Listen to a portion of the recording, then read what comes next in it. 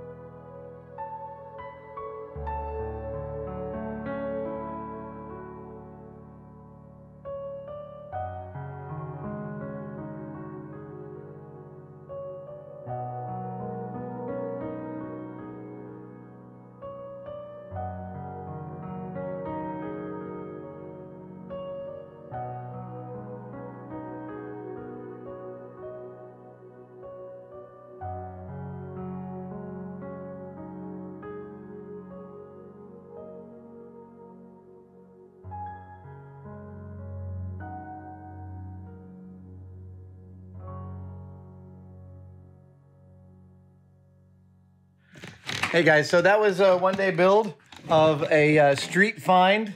This beautiful wooden chair that I found here in the Mission District around the corner from my house. I spent about four hours taking it all the way apart, uh, sanding it smooth, re-gluing some parts back together, screwing parts back together, and then giving it a final treatment of tung oil. And this will be a perfect chair for my office here at the cave. Thank you guys for joining me. I'll see you next time. One of the things I love about this channel is that we don't make how-to videos so much as we make what happened videos. And what almost always happens are mistakes and screw-ups. In fact, they're completely integral to making and honestly to being a person. And to celebrate this, Tested has a new batch of demerit badges for the screw ups you will encounter in the shop. From left to right, we have touching your paint job, assembling things backwards, losing a tiny screw or part, gluing your fingers together, and smashing your thumb. And frankly, if you haven't done both of these, even if you're not a maker, I just don't feel like you've experienced enough of the world. I'm not saying get out a hammer and smash your thumb, but I will tell you that the blacker your fingernail after the injury, the less it's gonna hurt in the long run. I almost forgot, these make excellent additions to your shop apron and they are available at tested-store.com.